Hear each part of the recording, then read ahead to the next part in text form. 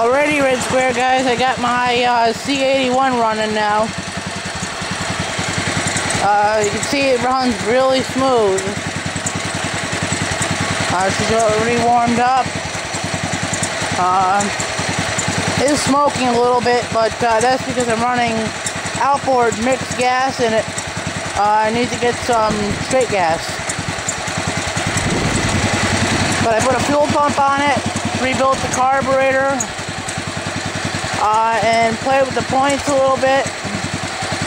Also replace the spark plug. And uh, that was about it. Runs really nice. Uh, it's not charging the battery, however I tested the stator output and I've got about 37 volts coming out at wide open throttle. Uh, and I have no voltage coming out of the, uh, the rectifier regulator. And then I tested the um, rectifier regulator and I have a uh, shorted diode in it. Um, I got to, with this, uh, I have no low range, so I gotta figure that out. Uh, I'm gonna take a little spin out to see my uh, wheel horse attachments now. Now I'm gonna see if I can drive and film at the same time.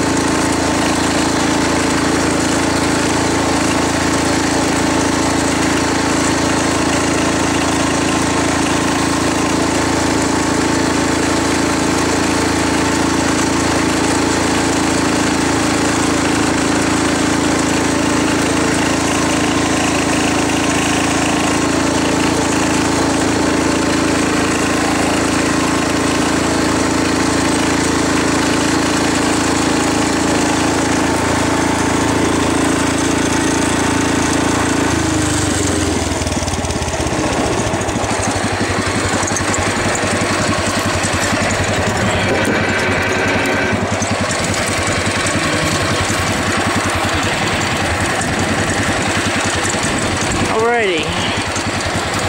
Let me just get off.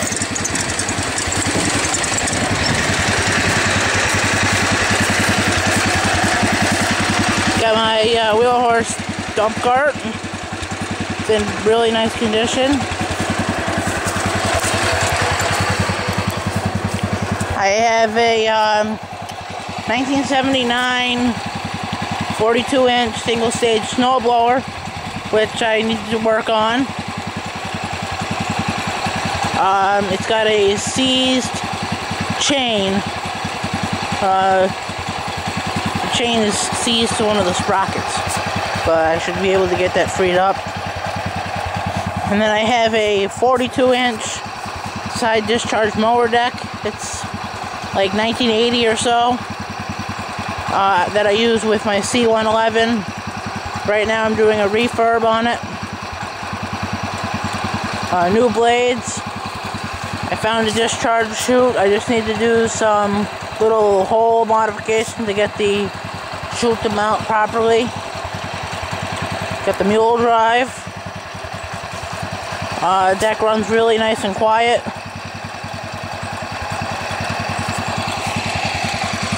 And there's my C81 just idling away. So, uh, thanks for watching, guys. Bye.